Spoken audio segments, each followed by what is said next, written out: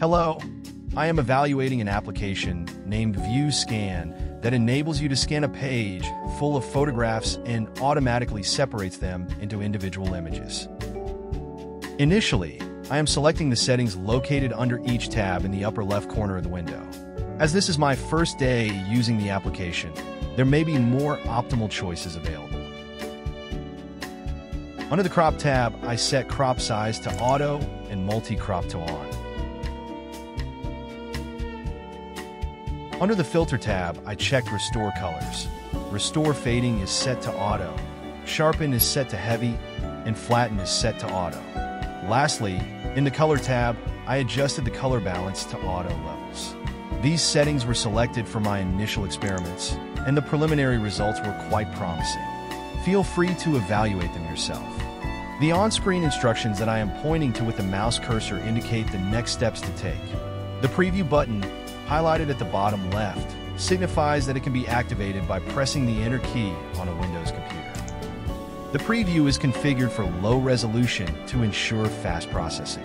Once complete, the two photographs are cropped and appear in the upper right corner. The cropping handles start on the top photograph, allowing for adjustments if needed. To adjust the bottom image, click on it to transfer the handles and make the necessary changes.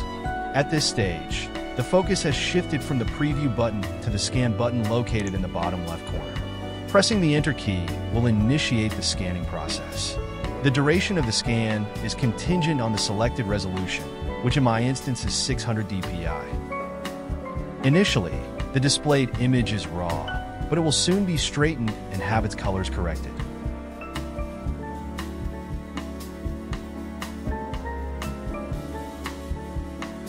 At this point, both images have been saved to the default folder, which is set under the Input tab. Next, we will examine the end result of this operation. In Windows Explorer, two icons represent each image. Clicking on one of the icons reveals the image in the preview pane. My tests today have consistently shown an error in the cropping process, leaving a sliver of the cardstock visible at the top of each photograph.